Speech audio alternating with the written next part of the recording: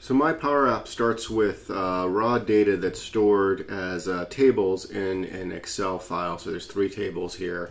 Uh, and then I've got a data connector uh, that connects to an Azure function.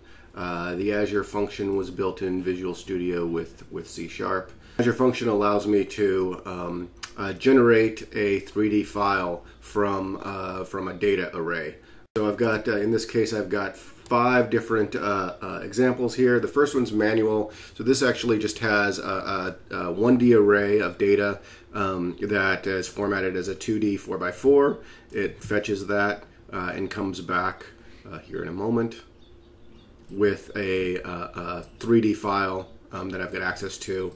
Uh, and that uses parameters to decide what are the starting colors um, for the base bottom here uh, so that will be in this case, uh, we can make that uh, green, um, and then uh, it goes to, let's use uh, blue, and then uh, you can see it just immediately pulled that data right back. You can also increase the, the height of, as it fills out that one by one by one meter um, object.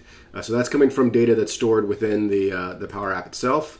Uh, I can also create some uh, random uh, data. So that's what's happening here is it's just going and uh, fetching 100 random records uh, just for testing.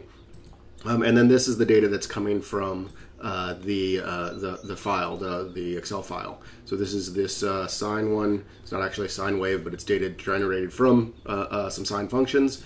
So I can update that. it updates the size, the x, y position. I fetch that data and uh, and this is what that 3D um, graph looks like that it just created.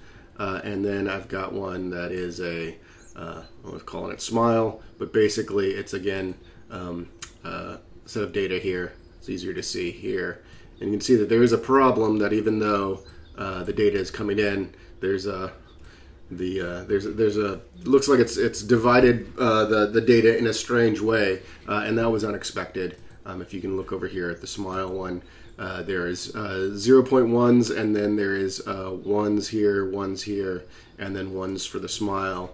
And bringing that data over, uh, uh, there's there's there's something that's not quite right, uh, but that's what that is. And then I've got this other one which, which uses some COVID data, and so this is a, a set of records um, that represents the infection rate and the deaths rate for the United States um, uh, given uh, the start. So we get a look, look, at the graph of what that looks like and compare the two.